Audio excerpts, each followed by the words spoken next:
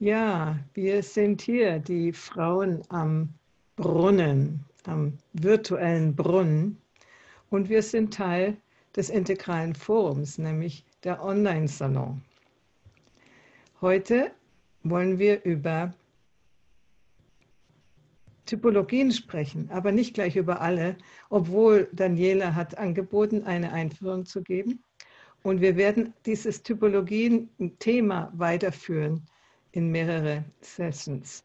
Ah, ich wollte noch dazu sagen, das ist die Ausgabe von November 2019. Und dann fangen wir erstmal an, wie immer, mit einem kurzen Check-in. Und ja, und dann gehen wir ins Thema. Danke.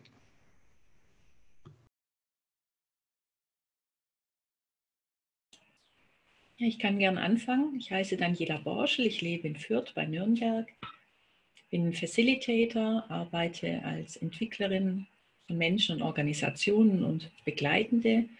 Und aktuell leite ich das Integrale Forum. Von daher ist mir das Integrale im Moment sehr vertraut. Und Typologien sind mir ein großes Anliegen, weil ich sie gerade in dieser Landschaft oft als ähm, nicht so im Fokus stehend wahrnehme.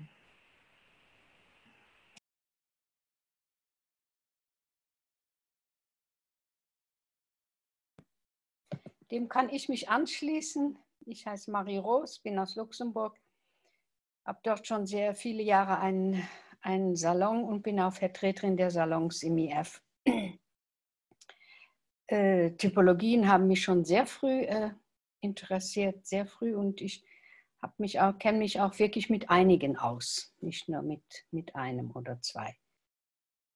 Soweit von mir.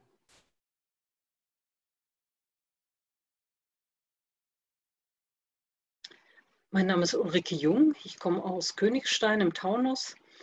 Ähm, mich interessiert das Thema sehr, äh, denn ich habe so ein bisschen das Gefühl, ähm, dass mein, mein Typus nicht so richtig ins Integrale passt, so wie es im Moment äh, gelebt wird. Und es geht tatsächlich so weit, dass ich so in den letzten Tagen, jetzt ist ja Herbst, die Blätter fallen, ist so die Zeit zu überlegen, was lässt man los, was nimmt man über den Winter mit. Und ich habe mich tatsächlich gefragt, ob es nicht ansteht, das Integrale für mich loszulassen. Ähm, ich bin aus Grün mal weggegangen, weil es, äh, weil irgendwann war diese, diese Anpassung an das Wir ähm, hatte für mich was Selbstschädigendes. Und im Moment überlege ich so, wie das Integrale gerade jetzt gelebt wird, ähm, dass es so sprachbetont ist, die Settings immer wieder, äh, so sind, dass sie mich eigentlich nicht in meine Kraft bringen, sondern aus meiner Kraft heraus. Ähm, ob das wirklich das richtige Umfeld für mich ist. Es könnte sich natürlich ändern, wenn mal ein bisschen mehr Information äh, über Typologien bekannt wird und äh, Menschen, die nicht so einen Standardtypus, äh, den sprachbegabten Standardtypus äh, wie im Integralen vertreten, äh, dass die auch ihren Raum im integralen Feld finden. Okay, und ich bin die Heidi Hanlein, in Berlin lebend. Auch in Berlin, das war früher, das war vor 40 Jahren. in, in der Nähe von Rom lebend, ein bisschen südlicher. Und wir haben es eigentlich noch relativ warm, aber es hat geregnet, ganz fürchterlich letzthin. Und ja, für mich ist Typologie auch sehr wichtig, weil es gibt zwar die Typologien in, in der integralen Theorie, aber irgendwie wird da immer so drüber weggewischt. Ja, es, ja Mann und Frau, männlich, weiblich, ne, das ist, ist so eine Haupttypologie. Mann und Frau meine ich nicht, sondern männlich, weiblich. Und ja, und dann gibt es vielleicht noch das Enneagramm und dann gibt es vielleicht, naja, aber damit, es wird nicht wirklich mitgearbeitet, habe ich das Gefühl. Und insofern schließe ich äh, mich der an, äh, Ulrike, weil es sollte mehr bekannt werden. Und das ist eigentlich auch der Grund, warum wir uns treffen und ein paar äh, Typologien besprechen wollen im Laufe der nächsten Monate. Und heute äh, wollte Daniela so eine Art Einführung geben und dann hm, wir sehen, wo du, wo du hinkommst. Und ähm, du kannst so eine Art ähm, Vortrag halten und dann können wir darüber sprechen. Okay? Ja, danke Heidi. Ich habe jetzt äh, ganz wenig ähm, so vorbereitet, dass es kurz ist und eher so als, als so eine Grundlage, um dann zu schauen, wo wir auch weiterhin können. Hm, ich habe vier Folien auf PowerPoint, gar nicht, gar nicht viel und die zeige ich jetzt mal. Ich schaue mal, ob das funktioniert. Genau. Ich hoffe, es gelingt mir. Äh, seht ihr jetzt eine Folie? Nee, oder Noch was nicht.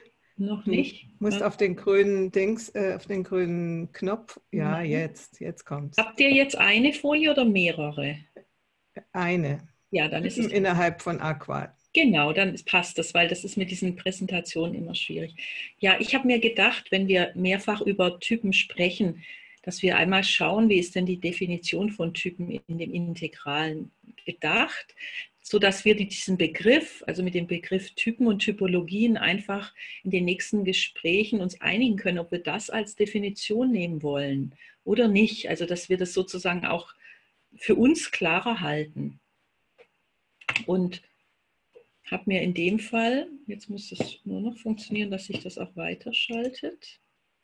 Hier ist das, genau. Das ist sehr merkwürdig, das macht nicht, was ich möchte, aber. Doch, es ist da, ist gut. Jetzt, ja. Genau, also was sind denn die Typen nach Wilber? Er sagt, ähm, der Begriff Typen bezieht sich einfach auf Aspekte, die sich in jeder Stufe oder auf jeder Ebene und auch in jedem Zustand zeigen können. Sehr viel mehr sagt er erstmal gar nicht. Und das finde ich erstmal einen sehr offenen Ansatz, der, der dann auch in der Definition ein bisschen klar macht, nämlich er unterscheidet, er sagt Typen im Rahmen dieser Quadranten, Linien, Ebenen, Zustands- und Typenmatrix des AKAL, die unterscheiden sich eben auf einer Ebene. Also eine Typen findet man auf einer Ebene mehrere, egal welche Typologie man nimmt. Und auf einer nächsten Ebene würde man wieder mehrere finden. Also das ist sozusagen eine horizontale, ein horizontaler Blick anstatt einem vertikalen Blick. Und dieses Horizontale, das habe ich jetzt in den Worten noch nicht so gefunden, heißt eben auch facettenreich, vielseitig, divers. Also im Sinne von viel, Vielheit, Fülle. Und Typen sind in dem Sinn nicht entwicklungsbedingt, nach dieser Definition. Genau, und ich habe mir jetzt angeschaut, es gibt ganz verschiedene Typologien, das wisst ihr sicher, es gibt Zweier-, Dreier- oder Vierer-Typologien.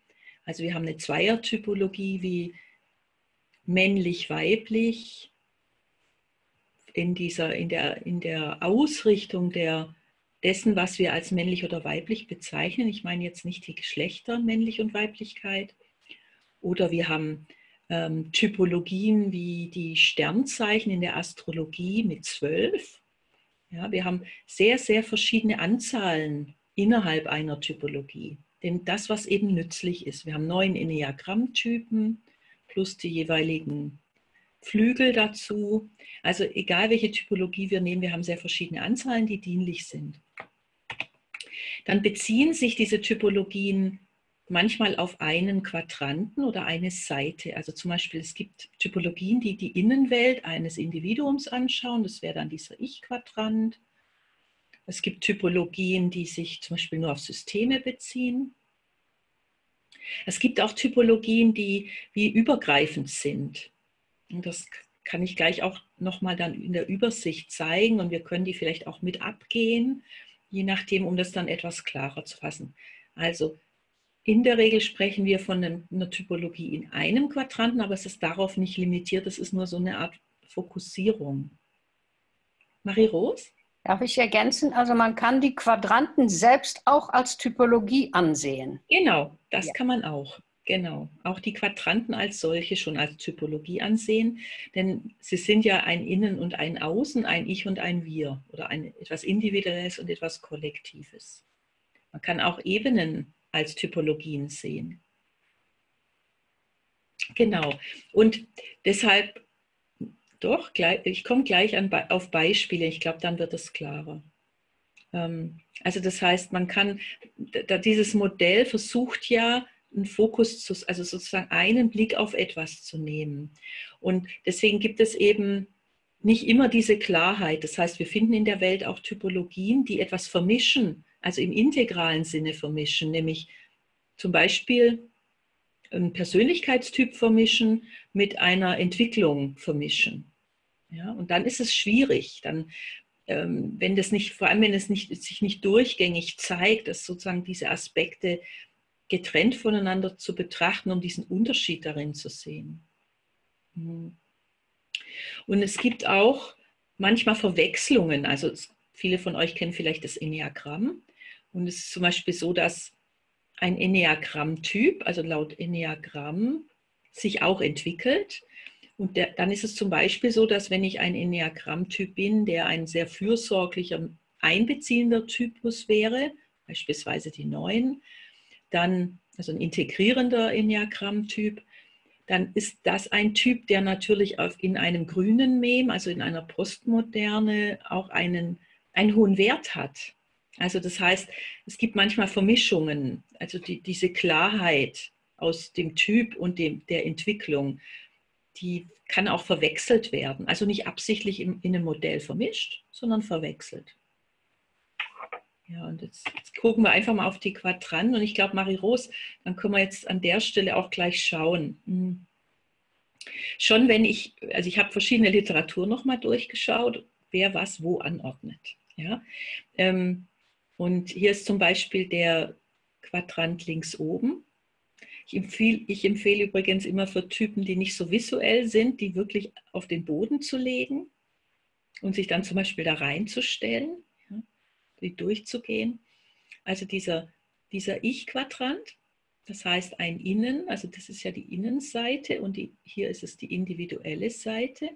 Also dieser Ich-Quadrant, dahin gehören zum Beispiel Persönlichkeitstypen, also der Meyer-Briggs Type Indicator zum Beispiel.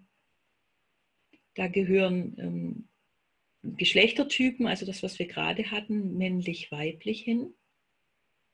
Ähm, dann Marion Küstenmacher zum Beispiel spricht von Mystikertypen, also alles, was sich sozusagen in ein Individuum innen an Formen oder Varianten, Typen zeigen kann.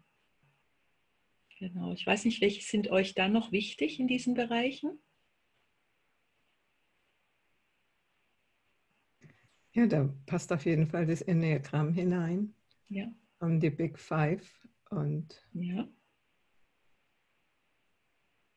Jetzt bin ich nicht sicher mit Astrologie, ob das da reinpasst. Es ist ja eigentlich auch ein Blick von außen. Das passt.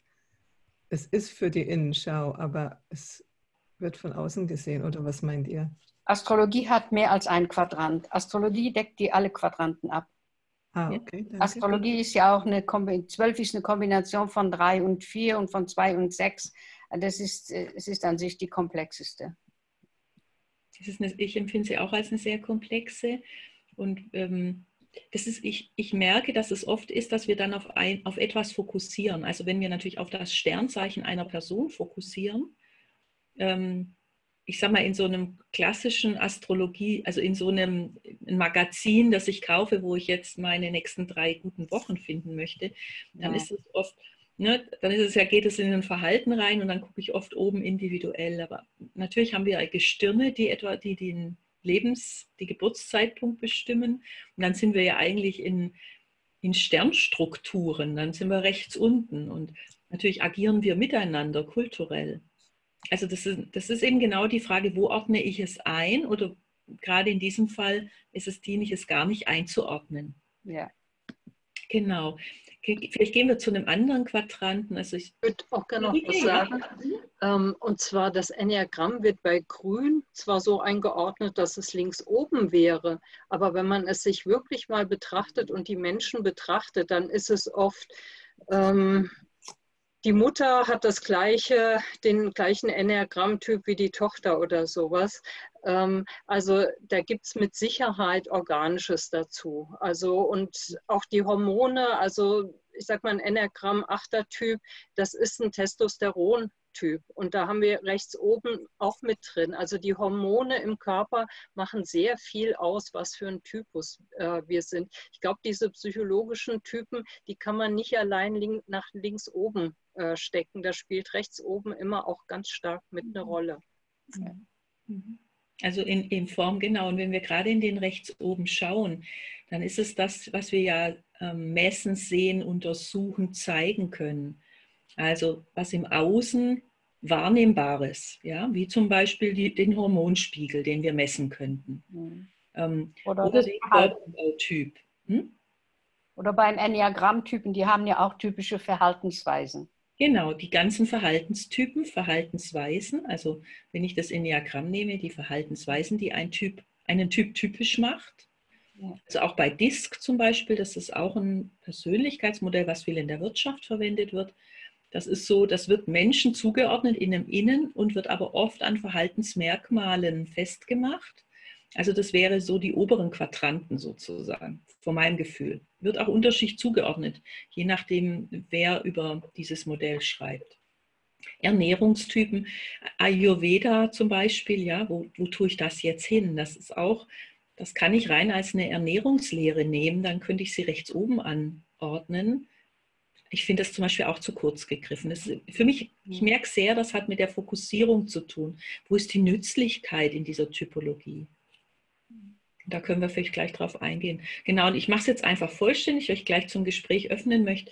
Also in, dem, in den unteren Quadranten, in den Kollektiven, gibt es eben den inneren, also den Wir-Quadranten oder den kulturellen Quadranten. Da gibt es dann Typen von Beziehungen. Äh, ich sage mal eine äh, eine klassische Familie und eine Patchwork-Familie also, und die entsprechende Beziehung, die, die Kultur, die man darin pflegt. Oder kulturelle Typen, also hm, französisch-englische Kultur, gibt es sowas?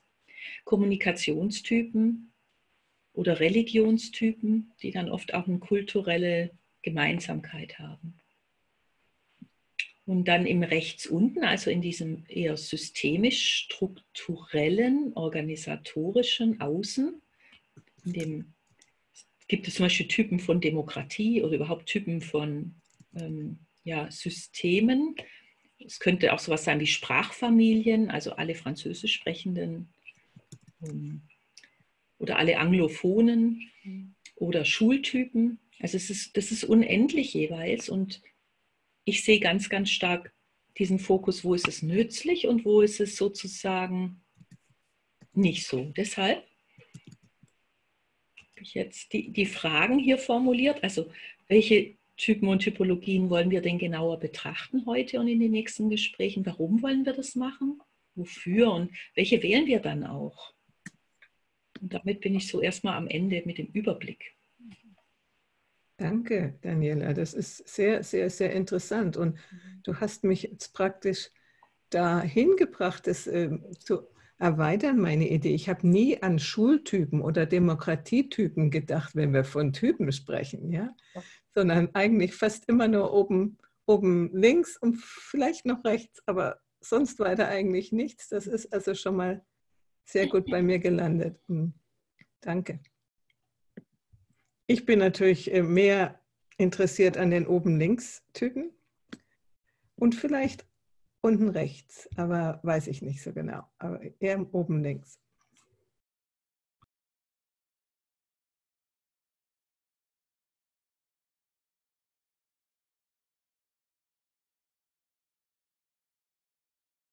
Ja, gibt es sowas wie Vorlieben? Ich habe gerade bei mir überlegt, ich habe eine Zeit gehabt, da habe ich mich ganz stark für links oben interessiert dann durch mein Wirtschaftsstudium ganz stark für diese Rechts-Unten-Typologien und, und ähm, auch durch die Kultur, also ganz viel Kultur mit Kulturtypen. Und dann war ich natürlich stark in dem Links-Unten. Also ich, ich merke auch, wenn ich zurückschaue in meiner Biografie, dann waren, dann waren da auch irgendwie andere Schwerpunkte. Also da gab es so Interessen und manches mischt sich in mir, aber ich habe auch ich habe wirklich Vorlieben und Dinge, die mich nicht so mag oder nicht so betrachte. Wie geht's euch?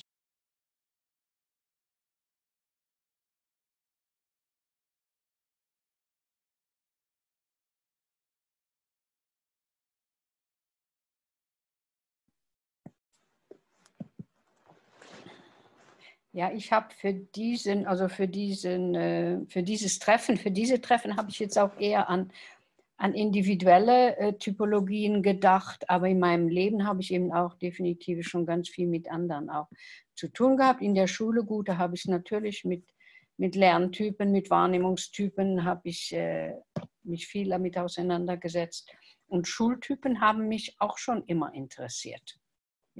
Ja. Gut, das ist jetzt von meinem beruflichen Hintergrund, Hintergrund her, habe ich da auch. Und Wohntypen ist auch interessant und ist gerade auch ein Thema bei mir. Lebens, also Lebensformtypen. Was passt da? Bin ich gerade auch wieder am Suchen. Was passt? Passt mein jetziges oder passt was anderes besser? Könnte was, sollte ich mal was an, ein anderes, etwas anderes ausprobieren? Ja,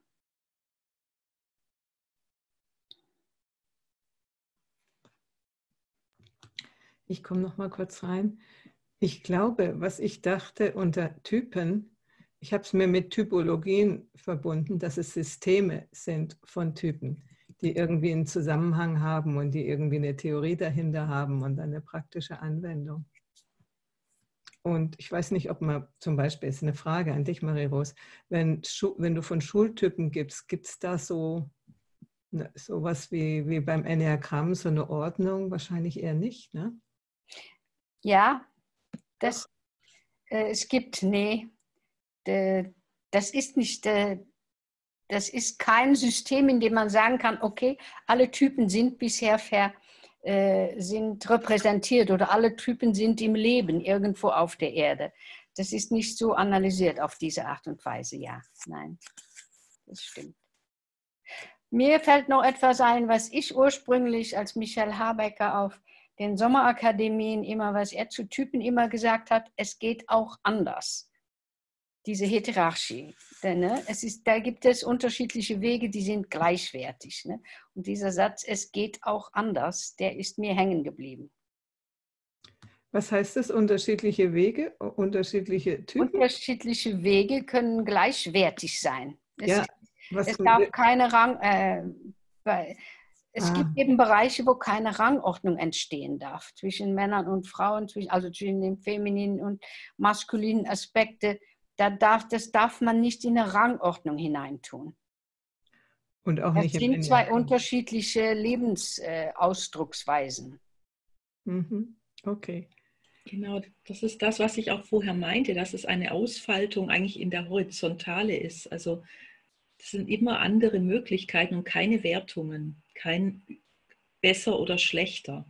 Und gleichzeitig bevorzugen wir trotzdem. Ne? Also Ulrike, auch was du jetzt zum Eingang gesagt hattest. Manchmal gibt es trotzdem wie Bevorzugungen von Typen zu bestimmten, in bestimmten Entwicklungszeiten oder in bestimmten Feldern. Das ist ja. so schade, weil die, dieses andere, die andere Möglichkeit wegfällt. Genau das macht den Typen aus, diese Qualität von Typ.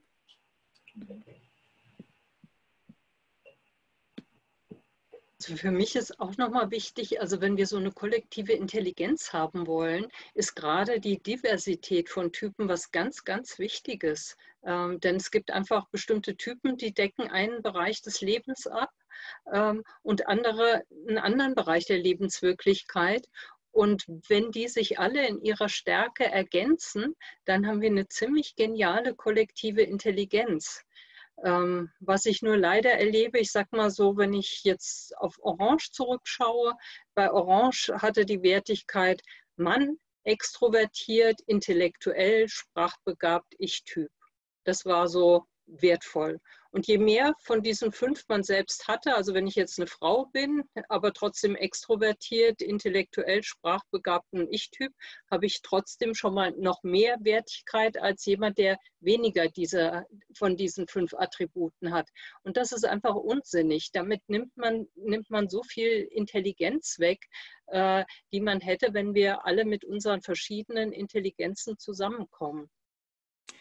Ich frage mich dabei, hat es was mit den Entwicklungsstufen zu tun, dass man in First Year eben ganz stark an solche, was ist richtig, was ist falsch, was ist besser, was ist äh, oder was fühlt sich besser an oder sowas, äh, je nach Stufe ähm, unterwegs ist.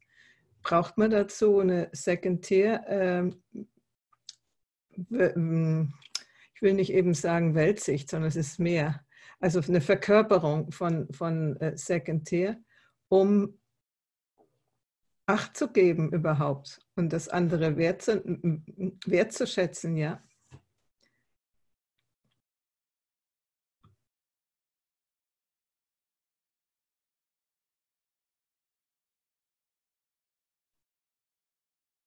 Es wäre schön, ähm, meine Erfahrung aus dem ich sage gerne, dem real existierenden Integralen ist aber leider, äh, dass ich das dann nicht wahrnehme, äh, weil Typen einfach zu wenig betrachtet werden. Es ist einfach schade, dass Wilber nicht mehr über Typen geschrieben hat, denn alle lesen Wilber und jetzt hat er blöderweise nicht über Typen geschrieben, also haben viele keine Ahnung von Typen. Ähm, aber das fände ich etwas ganz, ganz Wichtiges, weil ich erlebe, also ähm, in der gelben Stufe gibt es ja wieder Hierarchie und damit taucht automatisch wieder so eine Wertigkeit auf. Also ich kannte bei Grün diese, diese Unterscheidung Mann, Frau in der Wertigkeit überhaupt nicht. Und ich komme mir oft zurückgeworfen vor, äh, so wie das Integrale im Moment ähm, hier so in der Szene gelebt wird, habe ich manchmal das Gefühl, bin ich jetzt wieder bei Orange gelandet? Das war bei Grün überhaupt kein Thema mehr äh, und plötzlich äh, tauchen wieder solche Wertigkeiten zwischen Typen auf.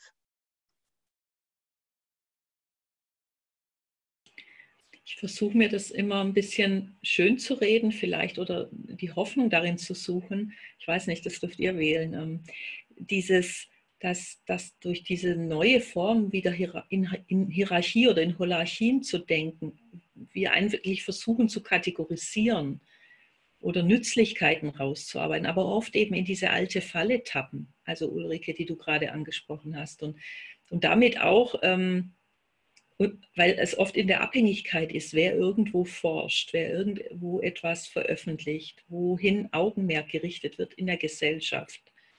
Ähm, und das ist schade, wie du sagst, ich empfinde es auch als so schade, dass eigentlich diese Vielfalt, diese Anerkennung von Vielfalt und Formen in, in Postmodernen dann wie zurückgeschraubt wird, weil wieder mehr in Richtung Entwicklung. Also es ist wie wenn, wie wenn dieses Streben nach mehr diese Vielfalt ähm, nicht brauchen würde, dabei braucht sie sie.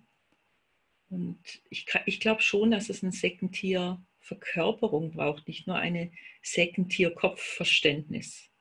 Das macht einen Riesenunterschied. Und es braucht Übung, Übung, Übung. Es, ich, ich glaube, es ist so, also selbst wenn ich es verstehe und ich verkörpere trotzdem meinen Typ, meinen Typ, muss ich doch auch mich bereit erklären zu üben. Oder in Übung mit anderen Typen zu sein, um sozusagen ähm, da empathisch Empathie zu entwickeln und Verständnis und mein Verhalten anzupassen. Ich glaube, sonst würde ich immer das, das mehr desselben tun.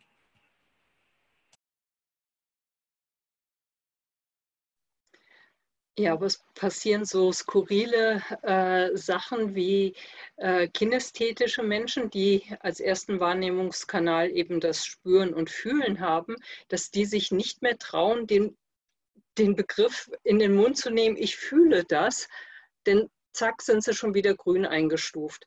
Was aber eigentlich was typengerechtes äh, ist. Also sie fühlen einfach.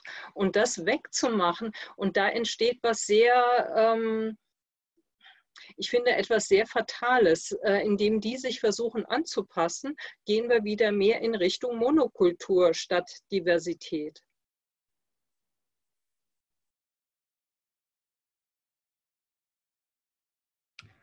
Ja, das denke ich, ähm, das hängt davon ab, dass wir über Wahrnehmungstypen im Grunde nie was hören, wenn man nicht spezielle Kurse macht oder so.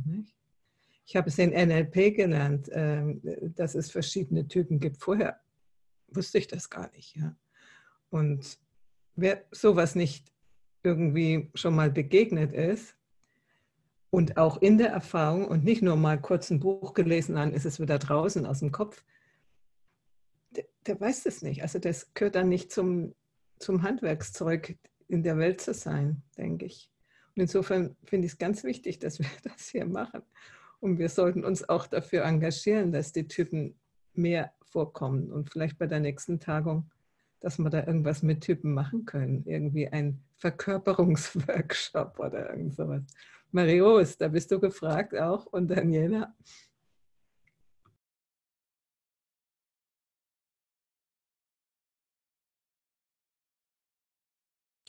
Also ja, ja, also ich, ich habe jetzt ein hohes Interesse auch an den Kommunikationstypen oder den Sinnes, also die, den Sinnen, die wir präferieren sozusagen in der Reihenfolge. Das halte ich für enorm wichtig im integralen Feld, auch für mich. Also ich habe auch dieses Ich fühle, ich fühle ein bisschen gelernt, die zwei Jahre, so die letzten zwei, das anders zu machen manchmal. Hm. Und ich kann mir das auch als einer der Stränge für die Konferenz vorstellen. Das ist jetzt auch ein Stück abhängig, wie das Konferenzteam das macht. Hm, ich, ich stelle mir vor, dass das auch sehr wertvoll ist, um insgesamt die Konferenzen oder Veranstaltungen oder Salons, egal wo wir uns jetzt befinden, dass wir das uns immer bewusst machen. Also selbst wenn es uns nicht immer gelingt, dass wir es immer bewusst halten, was wir nicht tun. Und dafür Räume schaffen, das, das fände ich schon einen großen Schritt. Setze ich mich dafür ein, auf jeden Fall.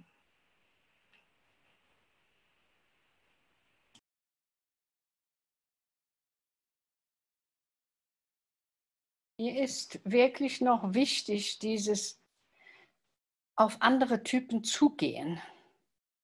Dieses nicht andere Typen nicht verurteilen. Und wirklich auf andere Typen zugehen. Wirklich sich danach überlegen, wenn man merkt, aha, der mag jetzt meinen Typ nicht oder der kommt mit meinem Typ, findet er minderwertig oder meinen Typ äh, ist es schwierig dass ich mich dann frage, ja, was für ein Typ ist er denn und was könnte er denn brauchen, mein Gegenüber, was könnte mein Gegenüber denn jetzt brauchen, äh, um sich zu öffnen, um sich auch mir gegenüber zu öffnen. Also wieder diese, diese Kommunikation und dieses Bewusstsein darüber und mich wirklich dann fragen, was braucht das Gegenüber denn, damit es sich öffnet für, für andere Typen auch und mich nicht unterbuttern lassen und denke, aha, der kann mich jetzt, meinen Typ, der kann nicht mit meinem Typ, okay, dann drehe ich mich um und ich gehe, ne? sondern wirklich, aha, was ist der denn für ein Typ und weswegen kann er das denn nicht? Und was könnte denn ein nächster Schritt sein, damit er sich auch öffnet für, für meinen Typ?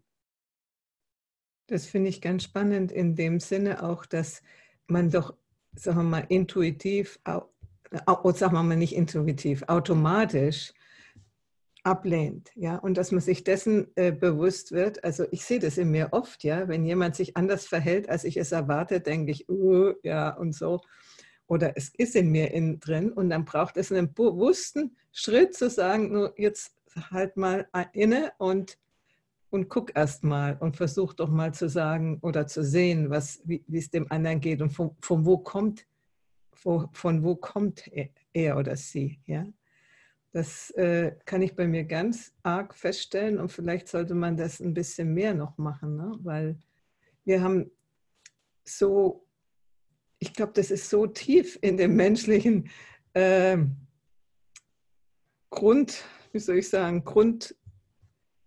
Grundreaktionstypen, dass alles, was anders ist, äh, man ablehnt, ja, und das, das ist da nichts. Ich glaube, das, das ist richtig tief, tief, tief drin in uns, ne? die, der Fremden, die Fremdenangst und deswegen auch die Ablehnung und Krieg letztendlich, ne? weil, weil der andere eben anders ist, das Othering, wie, wie das heute genannt wird, dass wir äh, praktisch als Ur Kondition in uns tragen. Und das finde ich ist schon ganz schön viel Arbeit, die wir da leisten müssten.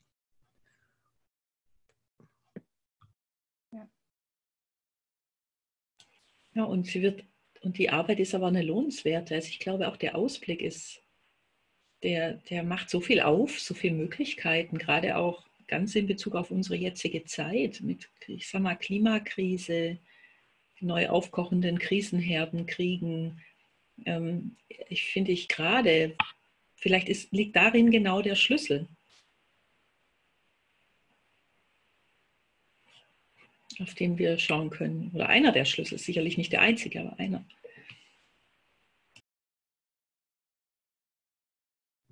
Ja, und die vielen, viele Dinge, negative Dinge passieren ja einfach durch Missverständnisse dieser Art, ja, dass man interpretiert, dass der andere was ganz was anderes meint, als er wirklich gemeint hat oder getan hat und so. Und das, ich denke, das was ich mit den Frauen von Südafrika äh, besprochen habe über das Purple Level of Development, nicht über Purpur, äh, und die dann in blaue Strukturen kommen. Und wenn die, die, die Leute, die, die die Unternehmen in Blau aufbauen, die denken, das ist normal so. Ja? Und die sagen, dann und dann muss das und das gemacht werden und, und benutzen ihr, was sie kennen, ihr, ihr Repertoire von, wie man mit Menschen umgeht.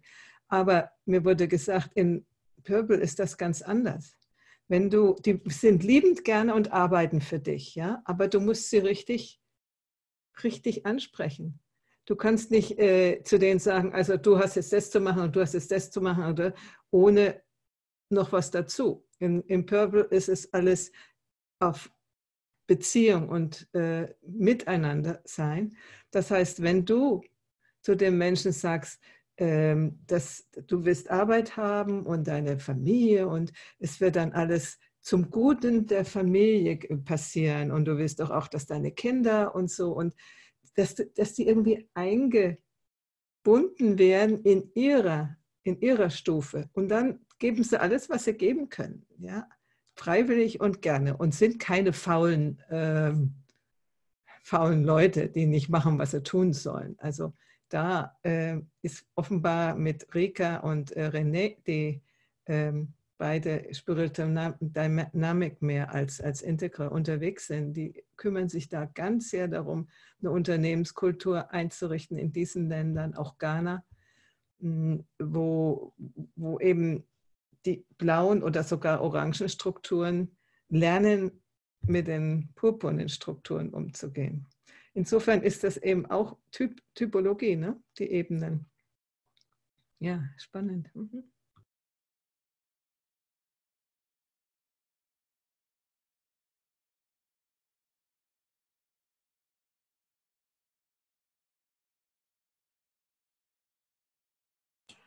Mir kam gerade so die Idee, dass wir an sich, wenn wir schauen, wo wir auch unsere Erfahrungen schon sammeln konnten und da sozusagen die, ähm, die Erfahrungswerte, die, die nützlichen Dinge nutzen, dann wäre das, und das vielleicht übertragen würden in dieses oft noch sehr intellektuelle, integrale Mem, ähm, könnte ich mir kann ich mir einfach dienlich vorstellen. Also ich merke, ich habe ganz viel von diesen kulturwissenschaftlichen Erfahrungen her, auch in der, im eigenen Erleben.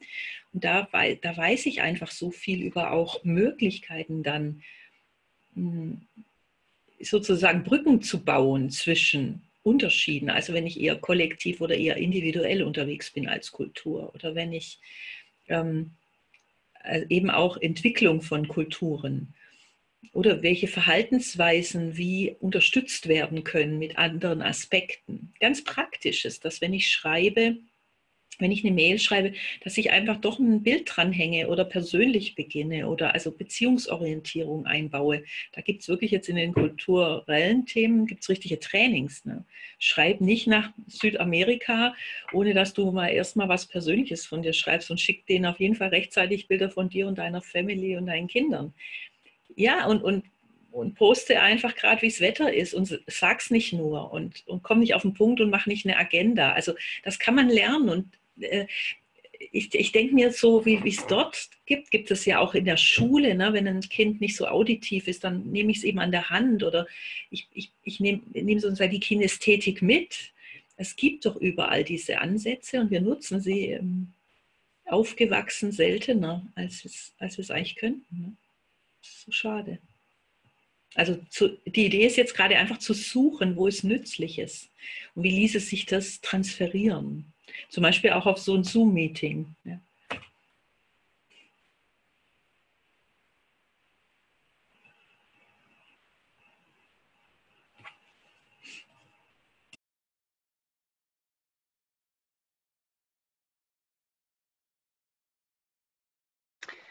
Ich habe tatsächlich auch schon nachgedacht, wie kann so ein Zoom-Meeting denn meinem Typen gerecht werden? Also ich habe, wenn ich die Wahrnehmungstypen nehme, dann bin ich erstmal ein Kinesthet, danach kommt das Visuelle und zum Schluss erst das Auditive. Das, was wir hier machen, ich sehe euch zwar, aber die Inhalte werden nicht visualisiert. Ähm, das heißt, für mich ist dieses Auditive ganz, ganz schwierig und ich merke dann auch, wenn ich wenn so ein Gespräch, wir haben heute ein Gespräch, was relativ wenige Pausen hat. Also ich habe auch schon Zoom-Meetings äh, erlebt, da waren, sind einfach ganz natürlich Pausen entstanden und da war so eine, so eine Ruhe und Ruhe ist für mich zum Verarbeiten einfach ganz, ganz wichtig. Sonst finde ich meine, meine Sprache nicht, meine Worte nicht. Ähm, und ähm, so Meetings, die dann so ganz schnell, eine Person spricht zu Ende, dann fängt die nächste an, ähm, da habe ich wirklich Schwierigkeiten damit. Ich habe schon darauf geachtet, dass ich mich anders hinsetzen kann, dass ich ein bisschen Bewegung drin habe, was für Kinestheten ja sehr wichtig ist. Aber grundsätzlich, das Zoom-Meeting ist, finde ich, noch immer eine sehr schwierige Form für mich.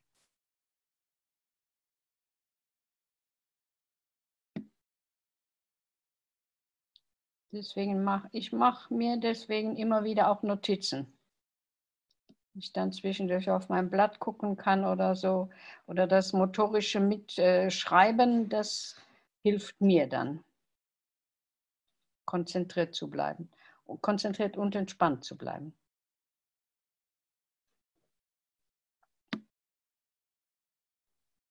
Ich bin schon konzentriert, ich bin hochkonzentriert und ich kriege das alles mit. Und wenn ich das morgen verarbeitet habe, kann ich wahrscheinlich noch sehr viel mehr wiedergeben, als vielleicht ihr euch daran erinnert. Aber ich finde die Worte nicht. Ich finde die Worte nicht, wenn, wenn nicht eine Stille dazwischen ist.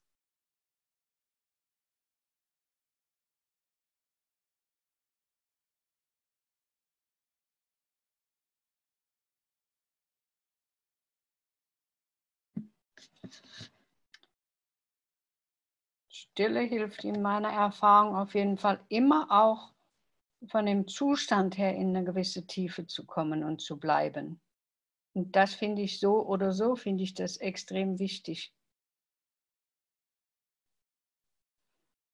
Ich finde es auch wichtig, aber wenn wir jetzt zum Beispiel für dieses äh, Video, was wir jetzt machen, wenn das dann gepostet wird auf YouTube und wir haben dann Zuschauer oder Zuhörer, da wird ja immer gesagt, mach keine zu langen Pausen. Dafür machen wir ja für amerikanisches Tempo machen wir ja schon sehr, sehr lange Pausen, weil ja Stille im Podcast ist nicht, ähm, nicht hochgeschätzt, jedenfalls bei den Gurus. Ja, Könnte so das ein altes Konzept sein? Frage ich gerade. Wir uns nicht anpassen müssen? Äh, ich sagte ja gerade äh, bei den Gurus, die das lehren, nicht? Die, die, die sagen sowas. Ja.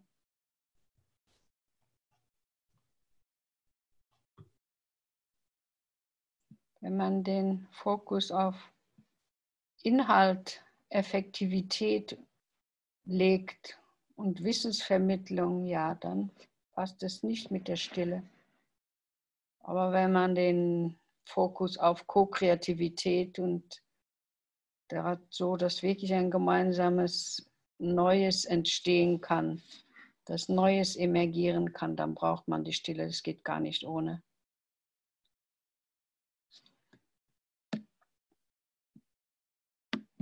Und das ist natürlich auch eine Einladung an den Zuhörer oder Zuschauer, ähm, auch in eine Stille zu gehen und ähm, da kann ja auch was passieren, co-kreativ bei der anderen äh, Person.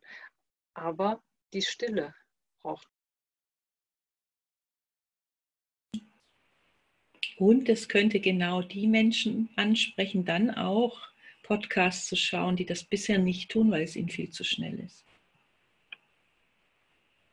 Das ist ein guter Hinweis. Die Zielgruppe ist überhaupt nicht erreicht. Also wie will ich das messen? Mhm. Also ich jetzt mal ganz praktisch, ja, das ist wahrscheinlich einfach vergessen worden in den How-to-Do-Anleitungen. Ist auch eine Typologie, ne? Wie, wie kommen Podcasts an? Wie macht man Podcasts am besten? Ja. Ja, wir haben es noch ungefähr zehn Minuten oder so. Jetzt dachte ich, dass wir mal drüber sprechen, was wir denken, welche Typologien wir gern besprechen wollen in den nächsten, bei den nächsten Malen. Also von mir aus ist ziemlich klar für die oben links Typologien des Enneagramm und vielleicht noch einige der anderen, ich weiß es nicht. Ich könnte beim Enneagramm mitarbeiten, Marie-Rose auch, Daniela auch, du Ulrike auch. Ja, das ist ja toll. Da haben wir ja schon was. Wollen wir damit nächstes Mal anfangen vielleicht? Und dann wäre ich ganz gespannt, Daniela, äh, Typologien, wenn es da Typologien gibt, von diesen anderen Quadranten äh, kennenzulernen, wenn du da nochmal mhm. was drüber beitragen würdest, wäre super. Ja, mir wäre das sehr, sehr wichtig, dass wir schon gemeinsam schauen. Und ich finde gerade die Kommunikationstypen hochinteressant, ähm, weil da gibt es einmal diesen individuellen Teil, also über den wir jetzt ja auch geschaut haben. Also was ist sozusagen mein erster Kanal, mein zweiter, mein dritter Kanal in, in der Reihenfolge der Priorisierung. Und dort gibt es auch ganz stark eine wirklich kulturelle Komponente von einem extrem unbewussten Kommunikations, von einer sehr ungewohnten Kommunikationstypologie, also zum Beispiel auch, wie viel Sprechpausen man macht oder so. Manche Dinge sind so tief in, in der kulturellen Prägung, dass sie überhaupt nicht ins Bewusstsein dringen. Ähm, und die beiden Sachen zusammen machen viel. Also das, das fände ich sehr, sehr spannend zu erforschen. So, jetzt mal. Also ich könnte viel zu Kulturtypen beitragen. Müssen wir mhm. sehen. Ne? Der äußere also Rahmen. Auswählen davon. Mhm. Der äußere Rahmen bei Kommunikation spielt natürlich auch eine Rolle. Aber ich sehe jetzt auch Typologie werden erst wirklich interessant, wenn es, wenn es etwas Ganzes ist wie, wie eben das Enneagramm, was wirklich sehr ausgefeilt ist. Ne? Eine, eine Dreiertypologie, unterschiedliche Dreiertypologien, da korrelieren die verschiedenen Typen auch miteinander. Da kann man, äh, oder unterschiedliche Vierertypologien, wie auch immer, die können entweder komplett sein. Versteht ihr, was ich meine? Ich weiß jetzt nicht, wie ich das ausdrücken soll. Es kann ein komplettes System sein oder es kann ein unkomplettes äh, Suchen noch sein. Ne? Und es, es gibt äh, in manchen Bereichen gibt es keine komplette Systeme, wie wir vorhin über die Schule auch gesagt haben. Ne? Da gibt es noch, da gibt es kein komplettes System. Und äh, jetzt, wenn es um Kommunikation geht, kann man ja auch und den Rest, also in, dem, in der Struktur, äußeren Struktur, äh, das macht auch unglaublich viel aus. Und da gibt es auch Vorlieben, ne? ob man in der Natur miteinander redet oder in einem geschlossenen Raum oder über, über, über wie wir jetzt hier, über Internet. Aber das sind keine komplette Typologien. Das sind dann einfach nur Vorlieben, die irgendwie lose, wo, wo man ein bisschen lose drüber reden kann.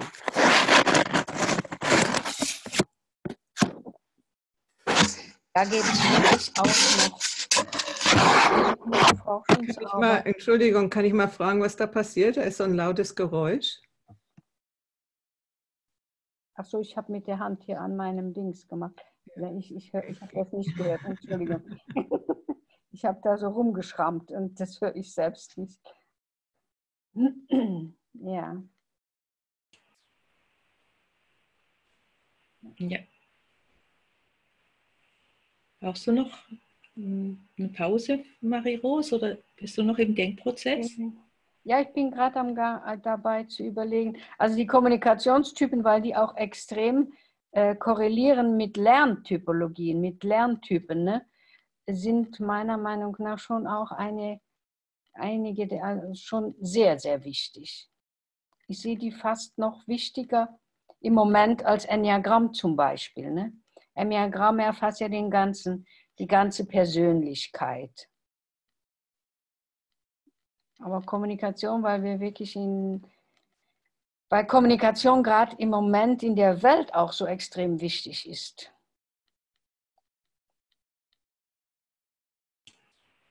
Ja, und ähm, also da, da zieht es mich auch sehr hin. Ich glaube, das ist einfach äh, wichtig jetzt.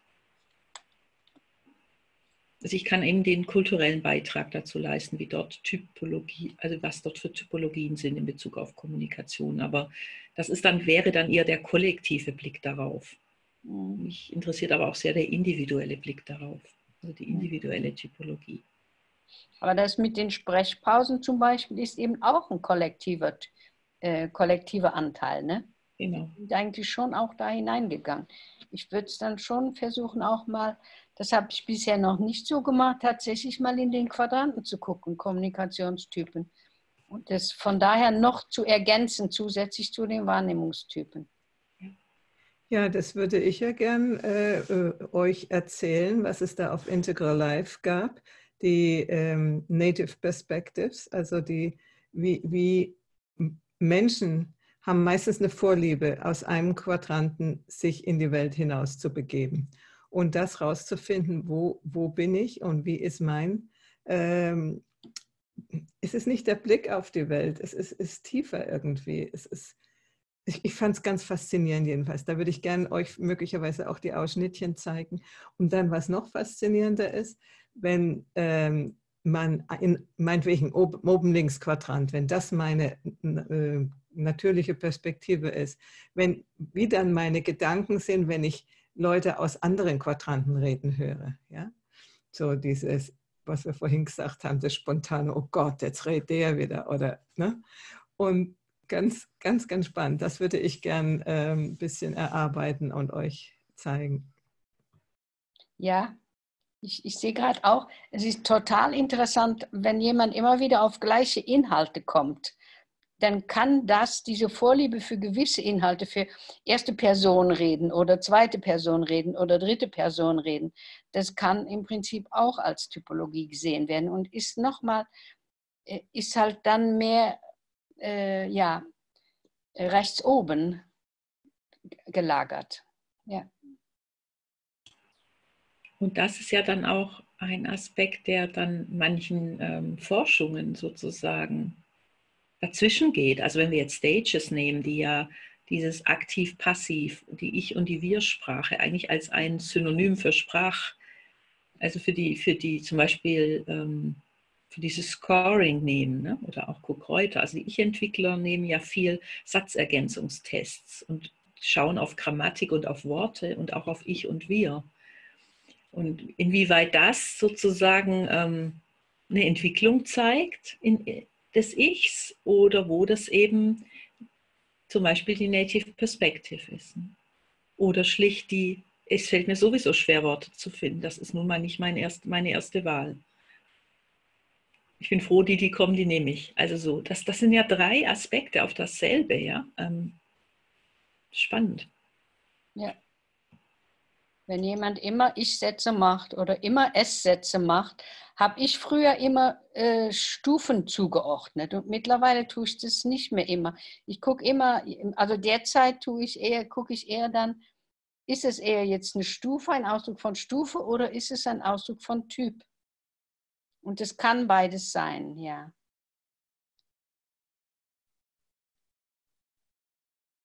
Oder so mehr strukturbezogen auf eine Metaebene ist nicht immer, äh, muss nicht immer ähm, eine höhere Ebene sein.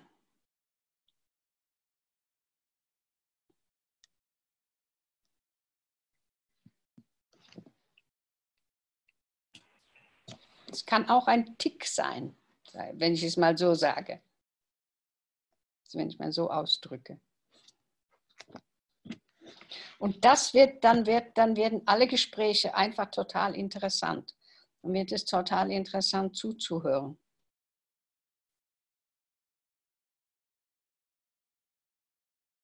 Und sich selbst reden zu hören. Also in der Postmoderne, da ist ja wirklich nach dem, nach dem Orangenen, äh, wo man mit S-Sätzen gesagt hat und immer alles beweisen musste und äh, dritte Personsätze und äh, nach dem Blauen, wo man so eher auch Mann setze oder es sollte so sein und das muss man, äh, diese grüne Kultur, wo man wirklich Ich-Sätze sagen musste und wie geht es mir und bei mir bleiben oder so, das hat mich irgendwann auch richtig ausgebremst. Ne? Und äh, Kommunikation macht mir mehr Spaß, seit ich äh, hin und her wechsle und bewusst hin und her wechsle zwischen ich setze, du setze und auch mal einen Du-Satz sage, weil das war ja total verboten in der grünen Kultur.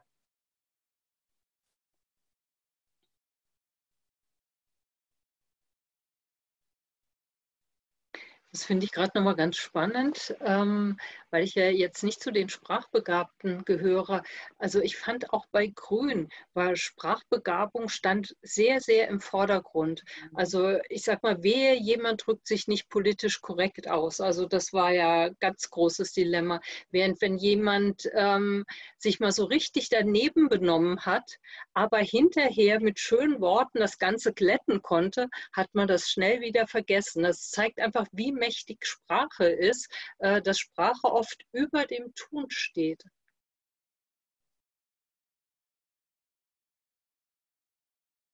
Ähm, Ulrike, bleib noch da und äh, wir wurden nach Vorleben gefragt, äh, was wir gerne sehen würden und machen würden und so weiter. Wofür interessierst du dich den, für die nächsten Male? Also ich finde auch das Thema Wahrnehmungstypen oder Kommunikationstypen oder Lerntypen, also gerade im Integralen geht es ja sehr viel auch um, um sich wirklich weiterzubilden, also um zu lernen. Insofern finde ich Lerntypen auch ganz spannend. Und äh, über Marie Rose ähm, bin ich mit dem äh, System von, von Dorna äh, Makova ähm, ähm, äh, bekannt geworden, also die eben auch die Reihenfolge von kinästhetisch, auditiv und visuell äh, betrachtet. Und ich fand das mal abgesehen von, von Lernen und, ähm, äh, und Kommunikation. Also ich bin jemand, ähm, ich habe eine sehr starke spirituelle Linie und ich fand gerade dieses, was an dritter Stelle ist, so es hat mir einfach nochmal so eine, so eine ähm, es hat mir offenbart, wie limitiert ich bisher äh, in vielen Bereichen war. Ähm, also zum Beispiel das, was man an dritter Stelle hat, ähm, da ist man eben in einem sehr weiten äh, Fokus drin.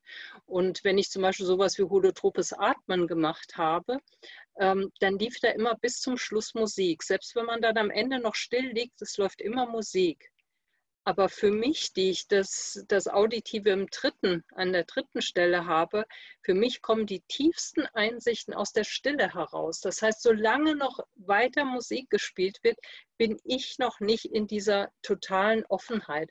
Und das war für mich nochmal, ähm, ich sage beim Integralen gehört, da gehört die Spiritualität ja auch mit dazu.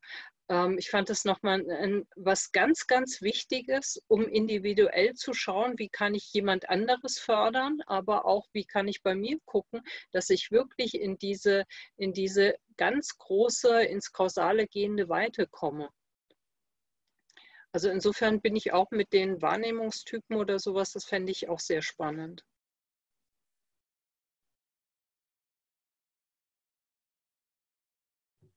Ja, wunderbar. Da haben wir ja schon ähm, einiges gesammelt und dann können wir nächstes Mal anfangen mit einem. Dem, ich glaube, Enneagramm, das haben wir, können wir alle am besten oder gemeinsam und wahrscheinlich die anderen, die noch dazu kommen werden. Ähm, Anna wird wahrscheinlich vielleicht auch ihr Human Design noch mal kurz vorstellen, dass wir schon mal vor drei Jahren oder so ziemlich ausführlich durchgegangen sind. Monja weiß ich nicht genau, was sie äh, Wert drauf legt, aber wir werden das hören.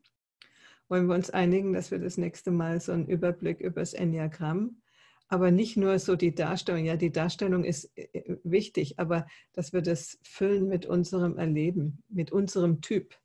Wir können unserem Typ darstellen und das, glaube ich, ist äh, manchmal vielleicht sogar erheiternd, aber zumindest mehr einsichtsvoll für die für die Leute auch, die dann zuhören. Denn sonst, wenn man nur einen Typ hört, 1, 5, 7, was, was heißt das schon? Ja, das ist eine Nummer. Müssen wir auch mit Leben füllen. Ja, wunderbar. Dann danke ich euch. Dann haben wir eine gute Einführung und das ein bisschen geklärt. Ähm, äh, Daniela, die, welche, welche Definition äh, nehmen wir jetzt? Hast du das herausgehört? Ja, ich habe jetzt schon gehört, dass wir an sich mit der integralen Definition von Typen arbeiten und uns, so habe ich das jetzt verstanden. Und wenn wir eben wissen, es ist sozusagen etwas, wo, also wir machen es aber, wir versuchen zu verorten eher. Das, das nehme ich mit. Also wir versuchen zu verorten und es nicht und sozusagen die Qualitäten zu sehen. Ich hoffe, ich habe das, das teilt ihr mit mir, diesen Blick.